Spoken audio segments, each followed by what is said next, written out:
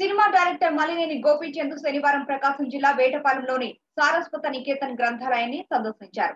నికేతనంలోని అన్ని ప్రత్యేకతలను వీక్షించి ఆనందాన్ని వ్యక్తం చేశారు. వందేళ్ళ చరిత్ర కలిగిన ఈ సారస్వత నికేతన గ్రంథాలయాన్ని సందర్శించడం ఆనందంగా ఉందన్నారు.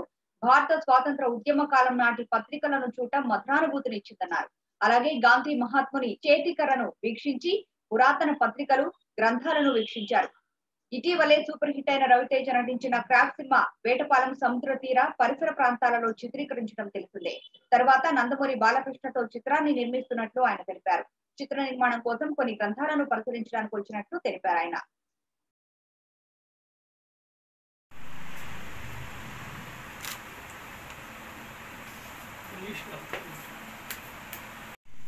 తర్వాత దేశం వేల ప్రచురణలు చేస్తూనే ఉన్నారు. చూసారా ఇదే ఫస్ట్ అంటే మన దగ్గర ఇక్కడ దొరికింది. ఉంటుంది అంతే స్టోరీ అట్లా చూడాలి. చాలా టైం పడుతుంది ఇది. ఏం చేస్తే.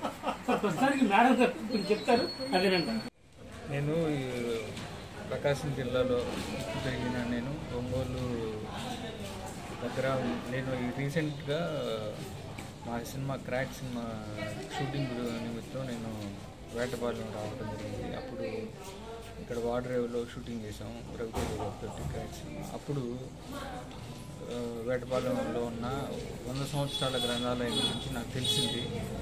దాని గురించి నేను మళ్ళా లీజర్గా వచ్చి ఒకసారి వేటపాలెంలోని గ్రంథాలయానికి రావాలని నేను వచ్చాను. నిజంగా ఒక వచ్చిన తర్వాత ఒక గుడిలోకి వచ్చిన ఫీలింగ్. వచ్చింది అంటే చాలా హ్యాపీగా ఉంది. అంటే నాకు ఒక రోజు సరిపోదు ఇక్కడ. కొన్ని రోజులు చూస్తే కానీ అంత లక్షల పుస్తకాలు ఉన్నాయి లక్షల పుస్తకాల్లో ఇలా చాలా ఇన్ఫర్మేషన్ ఉంది.